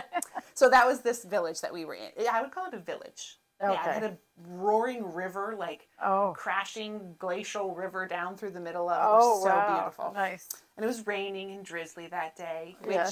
we were assured many times over. This is Norway summer, people. Get over it. Oh, really? Yeah. Oh, so they don't get like bright sunny days? No, because we headed right up. We were pretty far north, and it was rain every day. Oh. cold. Oh, Like, okay. So did you wear your hat that you knit? I did. Okay. Yes. Sometimes I even said, "Why didn't we pack mitts?" Oh. It was cold sometimes on Oh, the boat. okay. Yeah. Okay. And the wind would blow. So you'd be out and if you wanted to like enjoy them, the fjords for any length of time, we had a blanket we would wrap around. Oh, okay. Oh, outside, okay. yeah. So I thought it would be summer, but not like. It was averaging 13 degrees. Oh, okay. Um, that's Celsius. Yeah. Yeah. So Okay. Yeah. So anyway, I'm going to do Rosa at the Ball, which is this combination of Mm. Colors here. combination of colors. Yeah, I'm really excited. Yes. So the main body is this one here, and then the all So- the accent colors. So um, I thought. Oh, so they must be changing the label for the Oscar or whatever. This, Oh, How you pronounce it? I did end up with a different one for this one just because she didn't have the number of skeins I needed. So this one's a lamb's wool. Okay. But So I think this is um, I am I think I've mentioned this before when I was doing the paisley, um, and you had your sun in Setesdal Yes. car- sweater. Is that I asked um, I wanted to do the sun in Setesdal, but yellow I don't do yellow. So I asked her to pick out some colors for mine, and I actually have some of these colors like this. You think this is what it is? And when you took that out of your bag, I was like, oh, so beautiful. And then I said, I think I'm gonna have to look in the box of my Pull my kit yours. again and see because it's uh it's a beautiful combination of colors. So I would is- kind of describe it. It is a sticky yarn, so you have to do a steek, which this is like perfectly made for that. Yeah. Um, you can even just as you're touching, and like when you go to cake it, you can feel it wanting to already grab together. to itself. Yeah. Yeah. So I've steeked with it before, and it's really not frightening at all. so this uh I actually use this exact color in my my cardigan actually. Which is funny, isn't it? Because when you see it in the picture, and in your cardigan, you think more purple. yeah. But then when you actually see it, like It's there's brown. yeah,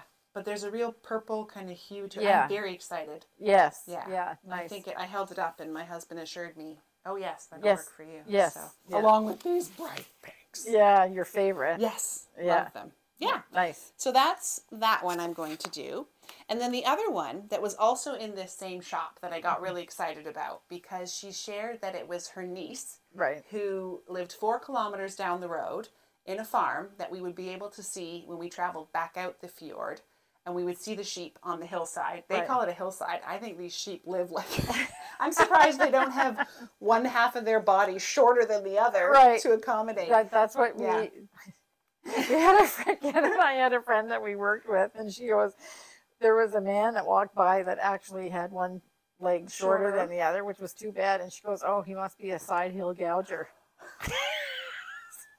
Well, that's that's what these sheep I think would be. Either that or like you're gonna lose it. because No one can understand you. I know, but because when we, that's all, it's awful. I know, don't, but it, when we heard her say that for the very first time, it describes it like if you have to walk on a mountainside, Yeah. it describes it perfectly. Yeah. It does. Well, and even like when we were coming down. Anyway, we won't get into that. But Oh. yes, so these sheep, I think, side hill yes, gougers. are side hill gougers. Okay. So we could see it, and it was beautiful. Oh, Um, so she raises the sheep I think she even spins the yarn Oh, herself okay. from those sheep. Okay. Eh, So you know, kind of you. Yeah. And then um, she designed the pattern. So the pattern for this one, I'm going to show it here. Try not to crinkle the bag. I know, Can, can you see so it? Loud. It's got sheep on the top. It does, right? and oh, they're cute. Norwegian sheep. Oh. They have the like the little Oh yes. curly horns Yes, of the Norwegian okay, sheep. perfect. So when I and I saw uh, she had a sample knit up there, and I was like, oh, I want that. Right. So I'm going to make the body out of the darker and the Okay. color work out of the lighter. And I have to say, like, this is this is Toothy. toothy. Yeah, I, I can't wear it next to skin. For me, it, Mm-hmm. I couldn't handle it. So I'm going to make it large enough that it will go over top of I don't Right. know a turtleneck or something. Okay. It'll it'll have great weather wear. Like I have no doubt that this will be practically waterproof. Right. Um, if I do it at a tight enough gauge, windproof, which yeah. And it'll wear. It'll last forever. forever. Yeah. Yeah. And these Yeah. sheep need that. Like Yeah. I understand why their wool is like that because it was raining, and if it's not raining in Ju- like it was July, if that's cold in July, Right. imagine what they're living through in January. Yeah. Right. So and you know they they um it is true like they're the sheep around here are soft they are soft. yeah, Yeah. soft like soft living and even though it gets cold it's not the same it's actually um we've talked about this before in the farm section is that it's it's worse for a sheep to be at like five degrees celsius with rain and wind Yeah. that's like the worst conditions So I think this stuff, I would like. I bet you'd have to soak it quite a while to get it to absorb the water. oh yeah Like so, I'm yeah. I'm thinking it It's- would just it smells it smells just like when you smell the sheep out in the out sun in the sun. when Yeah. it's when the wool is on them. That's what it smells. It's beautiful. That's I one of my favorite smells. Yeah. Yeah, definitely sheepy. Yeah. definitely exactly. sheepy. So I'm really excited about this one just for its authenticity. It's it was all within like a five kilometer radius Right. that it all happened. Which is Um, why some people come to our shop. Exactly. Same thing. So, yeah. So I had to do We the- appreciate that. The Norwegian version of what happens here. Yeah, So that'll be that project. Uh, you can feel the lanolin in it too. Is Eh? there still some there? Oh yeah, I can feel it. Yeah. Yeah. Oh, nice. Really nice. So we had a little discussion before the podcast because we said this is farm wool. Yes. and um, we want to say this in the right way. Yes. We think this is beautiful, Yes. and it's going to make a beautiful, beautiful sweater. You won't be able to wear it close to your No, skin. I will it not. wouldn't bother me at all. Really? Yeah, Wow. I really, Okay. I don't. It wouldn't be a problem for Okay. me because I don't. I'm really not like when when people write to me and say, "Is your wool scratchy?" You don't know how to I answer. said, "Don't." Oh, okay. I can't answer you. Well, because- I can speak to that because I could not wear this next to skin. Um, and our stuff I can. Like, Yeah. o- our sheep are soft. I think they've been well pampered. Yes, yes. So the breeds of sheep. Yes. Yeah. So the breed is completely different. And Kim's sheep have been well pampered. Yeah. Well, so, um, yeah. So, and I think that this is when we say that we spin our own wool and it's farm wool. I think this is what people are thinking of Yeah. because this is typically like Shetland wool is Has similar to this. it. Yeah. The Norwegian wool has the, the this feel. Obviously, this is Norwegian wool, but this is not how our wool No. feels. And this, like, I can understand feeling this, why they're a bit confounded as to why we're hesitant to steek.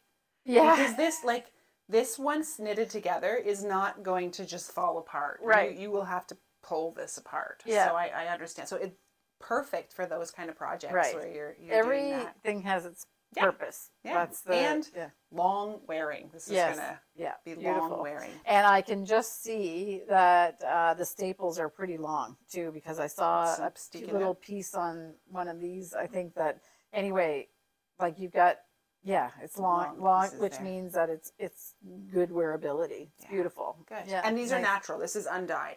So Mhm. there's no no color in that. Right. Yeah. So I'm really excited about diving into these projects. I have no idea how long they'll take me. Yeah. But that's okay because these are Fun. like once in a lifetime knits. Right. Yeah. Right. Fun. Okay. Oh, I did knit while I was actually on the boat. Oh, okay. I did. Oh, I know I you can't all. believe it. I can't believe it.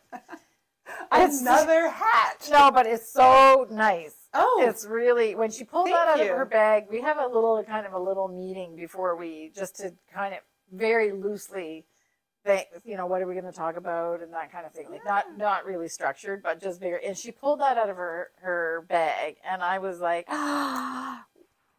Argyle. yeah, another one put together, the chart designed by my husband. So this is for him again.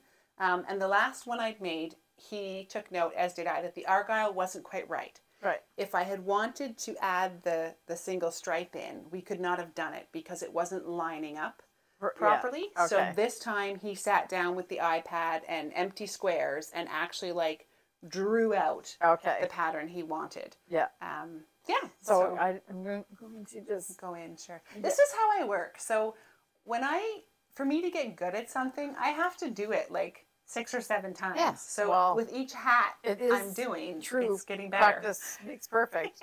like, like my spinning, I talk about that with Simone. Yeah. Yeah. it's, Yeah. uh, yeah. so i really like it it's he likes his beady It's style It's gorgeous. thank you Yes. Yeah. And the color combination is gorgeous. it's great so this was made i used some leftover yarn of ours that we had been doing practice colors or i don't know what else to call it so we don't actually have this but we did pull out from the um, felted tweed the It's colors. made out of uh, sock. I missed one. I've dropped one, or it disappeared. Somewhere down. Oh, it's all the way under my chair. Okay. Excuse me.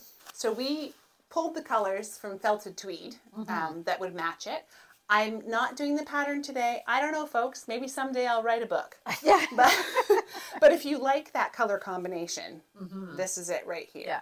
So what Rowan felted tweed, 151 bilberry. Yeah. This is 161 avocado, and this is 192 amethyst. Yes. and it's the per, almost the perfect match To for this, which is um, really proves the the saying or the whatever is that when you have that just a little pop of something that doesn't look like it might go, Yeah. it's. It, I mean, this looks like it goes, but it's that that pop of green that Really works. Really, really beautiful. And I'll admit that we didn't get that right on the first try. So I Oh. had sulfur, I think it was called, sulfur Yeah. with me felted which tweed. more yellow. a yellow green and we uh, when we had held them all together it looked fine but then when i went and kind of started i did duplicate stitch to put that green part on and when i started it i could see he was sitting beside me and he looked over and he did like a double take and i was like oh you don't like that do you yeah, so it just so happened that day we had bought the one Right. from Hillesvåg and it was a much better a more greener sort of Right. more lime base to Right. it instead of the yellow and that was perfect Right. And um, so it's interesting that give yourself a break. If you want to try this, uh, like map out a pattern like this, uh, you're for yourself, then um, just do duplicate stitch for Yes. this. Oh, yeah. I did not- honestly. I did not hold three strands across there to do that color work. You're, you're that's crazy making. Just it's same reason like why I did it for my uh, for my tungsten Yes. sweater that I did as well. That stripe. It was just nuts to and try that's to where I got it. the idea. I was like, Yeah. "Oh, Kim did it. I can do it." Yeah, yeah, sure. Yeah. It's perfect. The key is just just make sure you you, you pay attention to your tension while you're doing your duplicate stitch. I of- did a tutorial on duplicate Oh, stitch. perfect. So Yeah. uh, if you want to take, I'll, I'll put, if I can figure out how to get the card right, I'll put a card here somewhere. Everybody says it's here, but it's actually over there when you're watching TV or whatever. So, I, or you can just go to our channel and in the tutorial section, the playlist, I actually have a play, uh, a tutorial on duplicate stitch. So you can do that. And You can add details and save yourself headache. And it actually it's fun because then It's you not watch cheating. it come alive. I know afterwards. it's it's it is fun. great fun. So good. Yeah, so All that right. was that was our trip. It was fantastic and amazing, and I feel greatly grateful, greatly grateful that I Yeah. went on it. Yeah, lovely. So and happy anniversary. Oh, thank you. Yes. Yes. So and was your anniversary like right, really a- at the time? No, it's on the twenty third officially of August. 23rd. Oh, okay. yeah. So it hasn't happened yet. No, it hasn't. Oh, But my husband's a teacher. It's often too late to travel right. on our anniversary. He's thinking back to work and back to school planning right. at that Okay. point. Perfect. Yeah. So it's in spirit. Yeah, It was fun. exactly. Okay. Great. So you ha- you showed that a finished object, but you have projects that you're knitting that you're or crocheting that you haven't shown. Oh, right. So we're going to talk about that in case people are wondering. Yes. So I was working on the giraffe bag. It's a mosaic crochet project by Outstanding Crochet. And I have decided to step back and pull it out. I still want to do the pattern, but I made the wrong yarn choice. Right. And rather than continuing with this yarn that really is begging to be made into a garment, Right.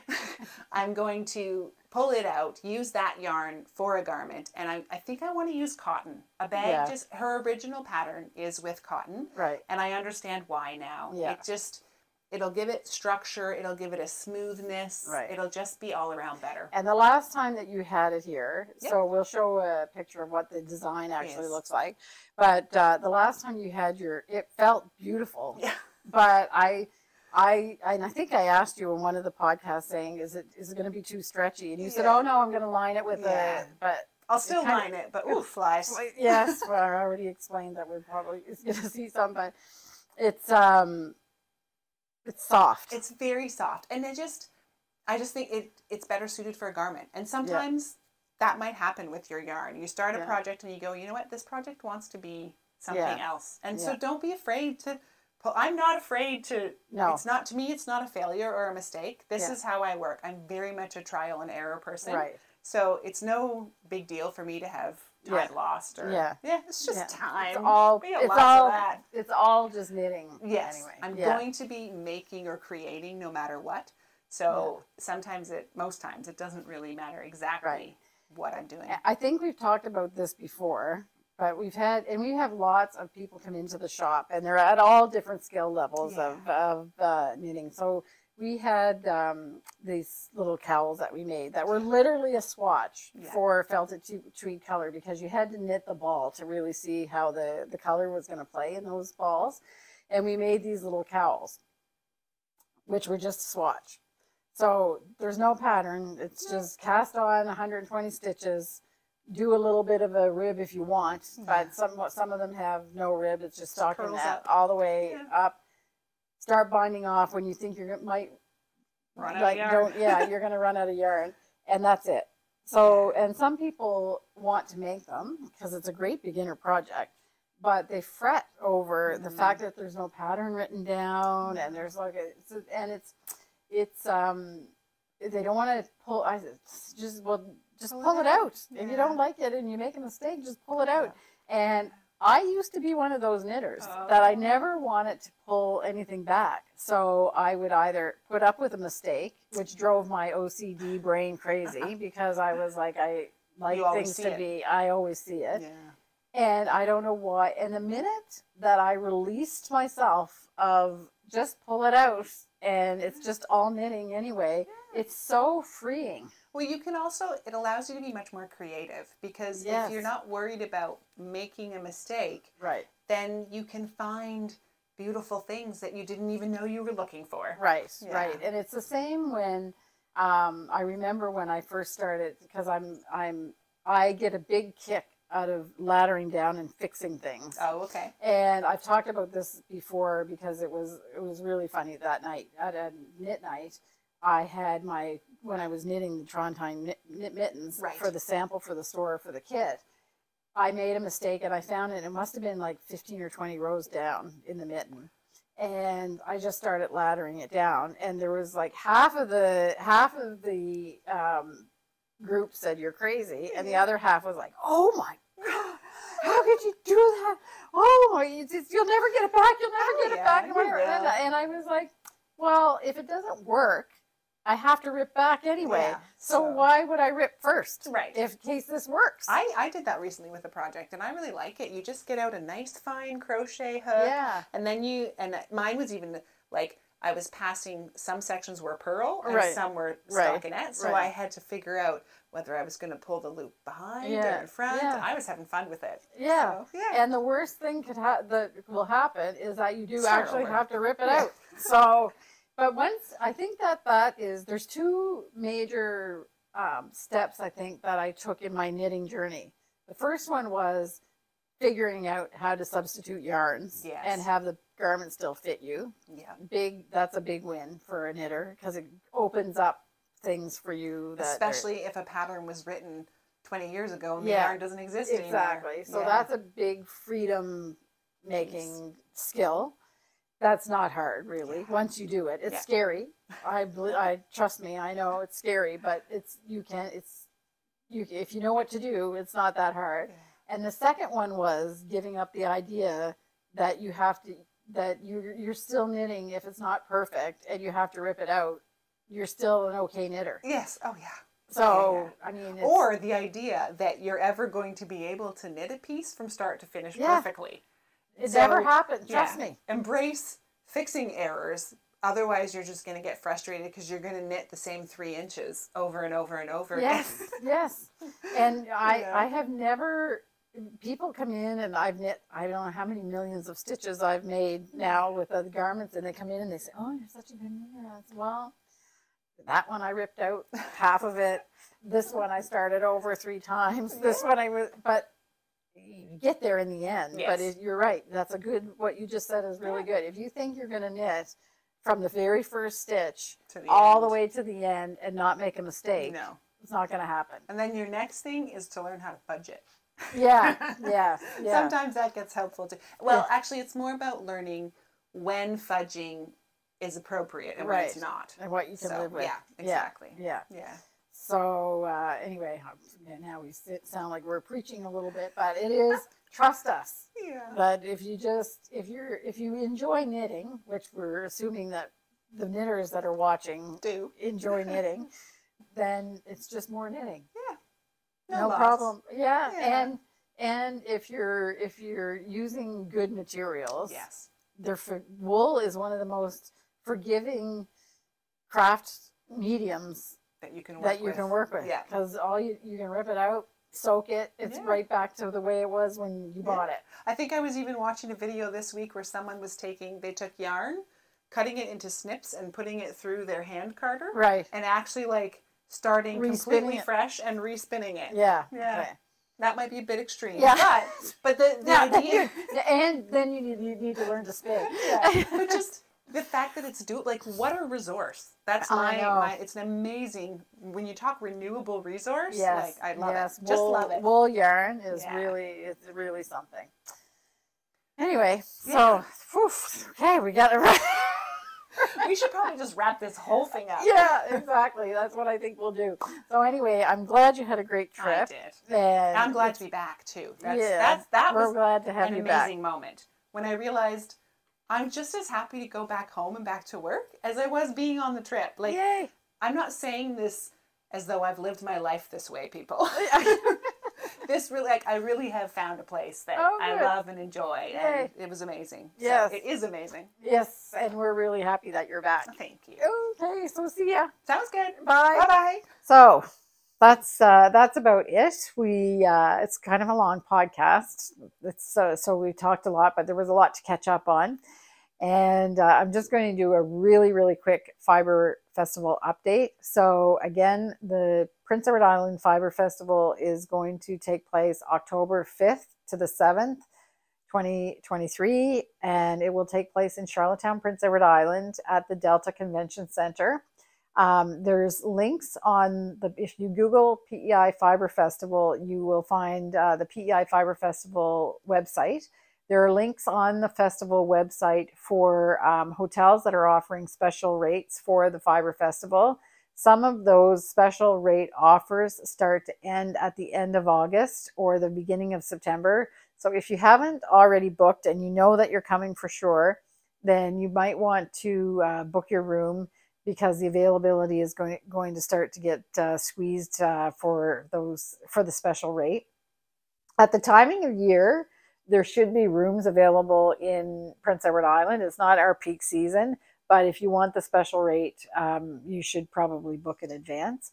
Also, uh, the classes are now filling up. So we've got uh, a lot of classes that have started to fill up uh, now. So if you if you're um, able to firm up your plans and uh, you want to take a workshop, then you should probably take a look at that. Uh, it's getting a little bit tight now for a lot of the workshops, and there are several that have sold out. So we hope you can join us. And um, uh, some people have asked if the store, our store, will be open during the Fiber Festival and that is the intention that we the store will be open as well but um, we're going to have a lot of this a lot, of the things that we carry will be with us at the festival so uh, you're welcome to come to the store Um, if that changes, I'll let you know. Um, we're just kind of a little bit trying to figure out how we can man the booths and keep the store open. So that's a little bit of a challenge, but uh, I'll let you know for sure uh, as we get closer to the time if the store will be open or not, if we're able to keep it open while you're here. So now we go to the harmony part. Um, this harmony part is really more about the music, just to take a few minutes to sit and relax and enjoy some uplifting music. So I, with this, I wish you a great two weeks and I hope you find joy in all your crafting. And I hope you had fun with us today. And thank you very much for watching. If you're not subscribed, I encourage you to, to subscribe to our YouTube channel. That really helps us with uh, YouTube. And have a great two weeks. And we'll see you at, at next time at, on episode 128. Okay, bye.